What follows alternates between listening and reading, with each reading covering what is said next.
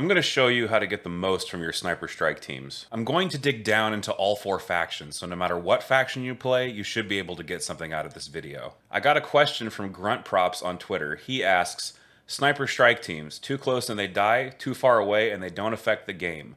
What are the realistic expectations I should have out of these units? This is Legion Strategy Talk. My name is Endless. Let's learn all about sniper strike teams.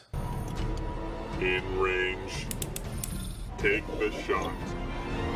We're going to start with the absolute basics, then move on to some more unit-specific notes. Strike teams are a unit consisting of two minis, and all factions have access to the sniper variant. These miniatures are the sniper heavy weapon and a second generic miniature. The sniper miniature is the unit leader, more on that later. All strike team variants have sharpshooter 1, which decreases enemy cover by 1. All Sniper Strike Team variants have access to a Scout move. Scout 2 for Rebels and Clones, Scout 3 for Empire and Droids. These Scout moves should be used to set up good firing positions. What's a good firing position? We'll talk about that later in the video. Sniper Strike Teams are divided into two flavors. The Galactic Civil War Snipers, which came out first with native pierce and high velocity, and the Clone War Snipers with better offense and defense dice, but the weaker lethal keyword, and no high velocity, meaning dodge tokens can be spent against their shots. Should I ever put upgrades on my sniper teams? In general, no. One of the biggest advantages of strike teams is that they are a cheap activation, and putting upgrades on them takes away from that. Putting upgrades on your snipers also makes them trade disfavorably if you end up involved in a sniper war, so I just don't upgrade them. Before we move on, I want to make note of a recent change to the low profile keyword.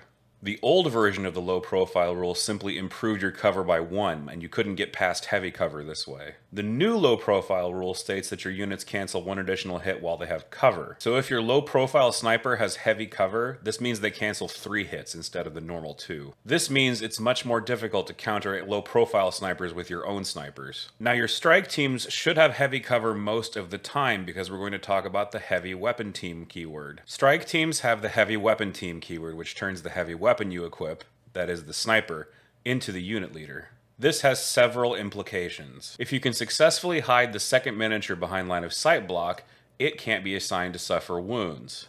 If your strike team does suffer a wound, you then replace this second miniature with the heavy weapon, because the heavy weapon is the unit leader. This technique is called corner peeking and is a staple technique in strike team usage. You can also corner peek vertically, like say if a line of sight blocking building has a ladder to the roof, you can then clamber up that ladder and put your second miniature at the bottom of the building. You cannot, however, deploy this way at the start of the game. Separatist commando droids come with the scale keyword, so vertical corner peeking is a real option for them. Unfortunately, you cannot clamber off the Separatist commando droid's scout move, because scout is a move and not a move action. Another technique surrounding corner peeking is using a medic or a repair droid to restore the second miniature when it dies. Remember that you can only restore a miniature in the same round it was killed. When the second miniature is restored, it can be placed anywhere in cohesion, so make sure to keep it hidden out of line of sight. Without using this corner peeking technique, sniper teams are crazy fragile. Even the low profile ones,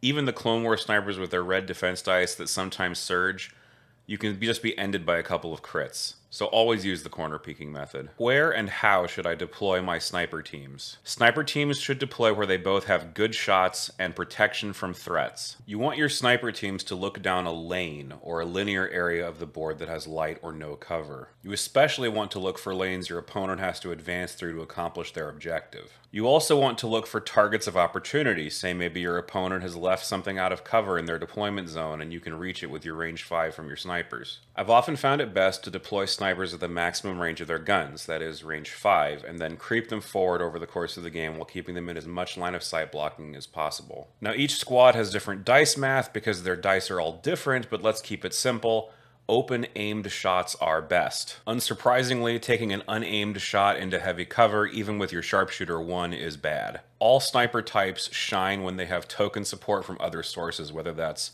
an Imperial officer with spotter, an unorthodox tactician in Rebels, any unit with electro binoculars, or clone token sharing. Can't forget strategize from Kalani. If you're using the basic ARC Trooper, having offensive surges also helps. I did say earlier that you shouldn't upgrade your sniper teams, but I actually do recommend offensive push on commando droid snipers just because you're trying to cope with AI move when you don't have an order on them. Commando droids have a very consistent dice pool of two surging reds, so you're probably going to get to use lethal when you take offensive push. Now you should also deploy your snipers where they have protection from threats. And the biggest threats to sniper strike teams are fast units and infinite range units. I'm thinking of Iden Versio and Cassian Andor specifically.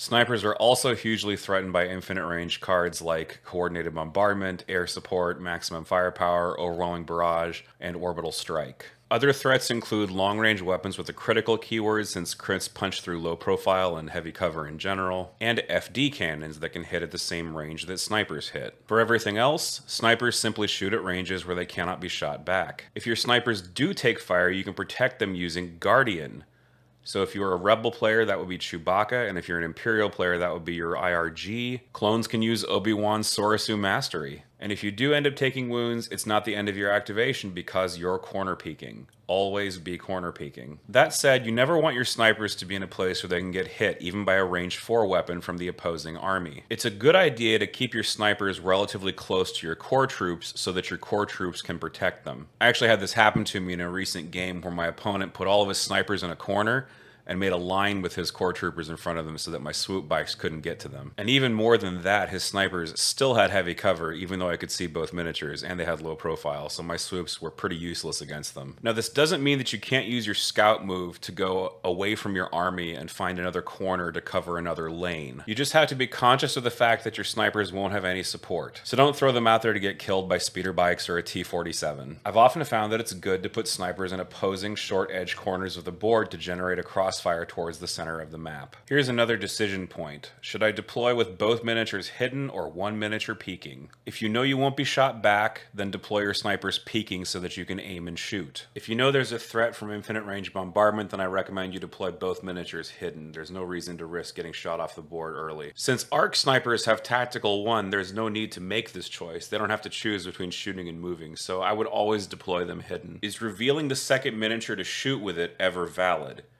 Yes, but it's highly context dependent. For GCW snipers, shooting with your second miniature is only valid if you don't care about losing access to high velocity. For Clone Wars snipers, it's nearly always valid to do this because you have more dice, higher natural defenses, and in the case of ARC Troopers, you have tactical, so you can aim, expose that second miniature, and shoot with all four dice. In terms of when to do this, you'll have to calculate the risks. Look at the board and see what's left to activate. Think about whether you'll win priority on the next turn, and think about your win condition. Will moving and exposing the second miniature actually help you accomplish the objective?